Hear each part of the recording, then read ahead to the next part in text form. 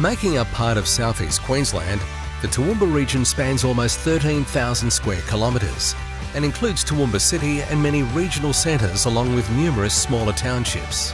The region is recognised for its rich and dynamic lifestyle and family-friendly environment.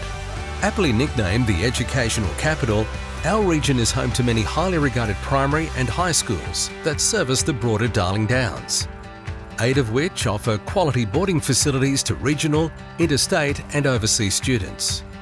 Tertiary education is also a major contributor to the Toowoomba region's economy, with TAFE Southwest Queensland as well as being the founding location of the University of Southern Queensland. The university offers programs both on campus as well as online, with national and international educational partners and a number of on-site research centres. The region generates significant export value out of the education sector, largely due to the boarding schools and USQ's substantial international student population.